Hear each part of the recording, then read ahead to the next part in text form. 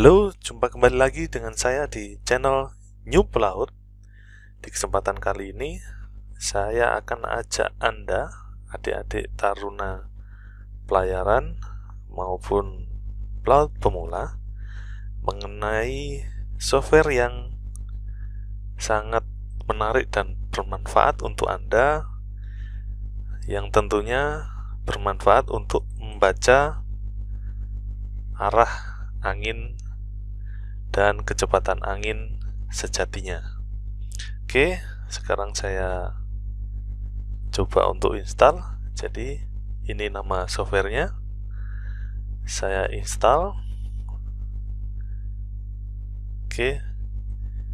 Nama softwarenya adalah StarPatch TrueWind untuk versi 101 Oke, saya next. Kita agree saja untuk license agreement-nya. Dan untuk destination foldernya kita tempatkan saja di program file. Kita langsung install. Oke, jadi proses installnya begitu cepat karena sebenarnya file ini file softwarenya ini tidak terlalu besar hanya 450 kilobyte oke. Finish. Jadi komplit untuk installnya. Oke saya tutup. Jadi ini softwarenya.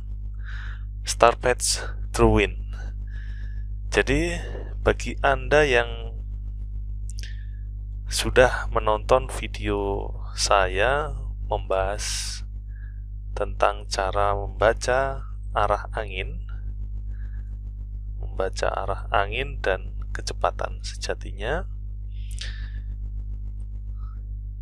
Bila mungkin Anda masih kesulitan atau menginginkan perhitungan secara cepat, Anda bisa menggunakan software ini nanti saya sediakan link download atau alamat uh, sumber downloadnya nanti Anda bisa install di laptop pribadi ataupun di komputer kapal sehingga bisa membantu Anda untuk mempercepat dan mempermudah dalam membaca arah dan kecepatan angin.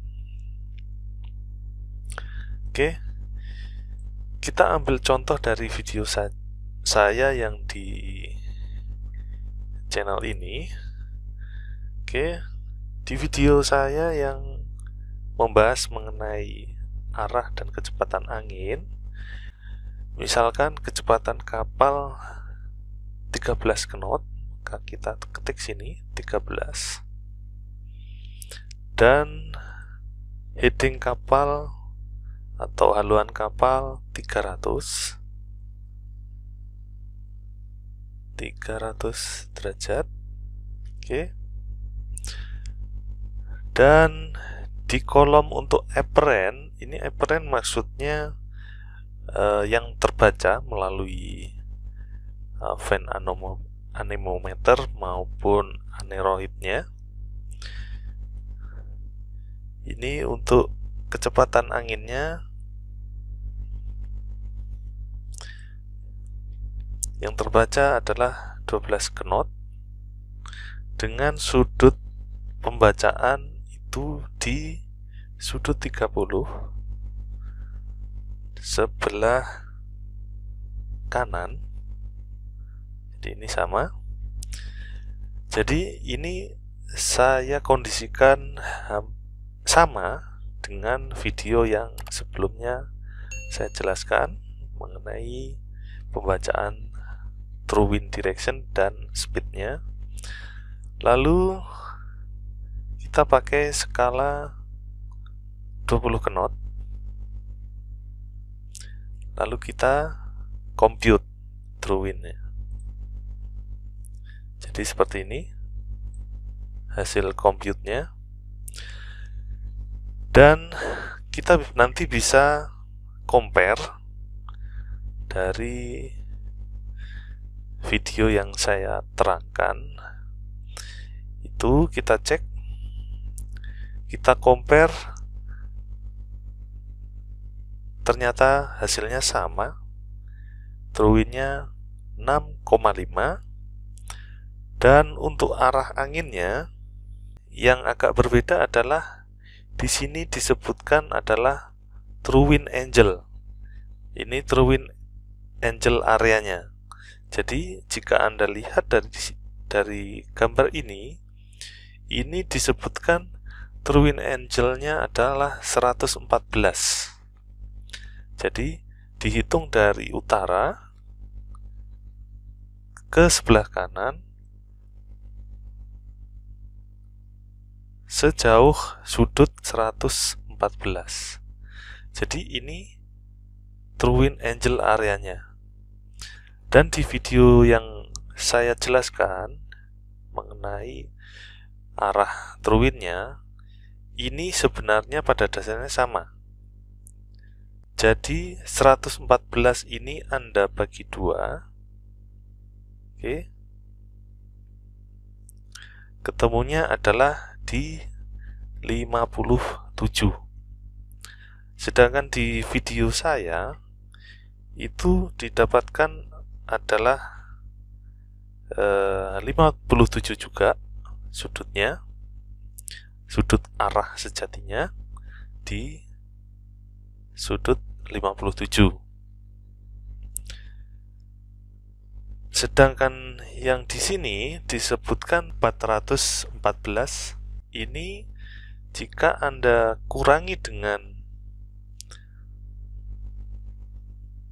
360 maka nilai arah sejatinya pun sama di sudut 54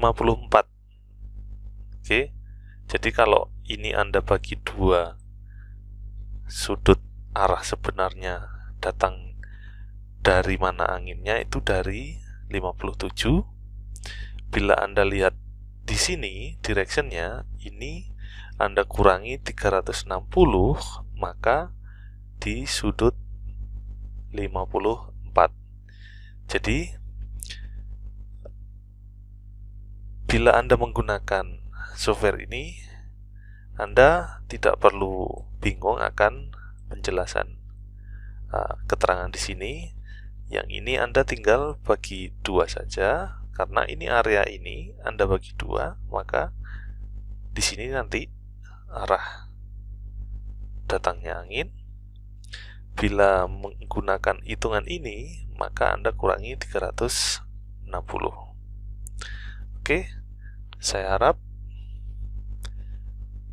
dengan adanya software ini bisa mempercepat Anda ketika Anda ingin mengetahui arah dan kecepatan dari angin sejati tersebut. Oke, silahkan Anda download. Nanti saya bagikan link tempat downloadnya. Terima kasih atas subscribe-nya serta like-nya. Jangan lupa Anda bagikan atau Anda share kepada teman-teman Anda. Sampai jumpa kembali di kesempatan berikutnya dan di channel yang sama. Sampai jumpa. Terima kasih.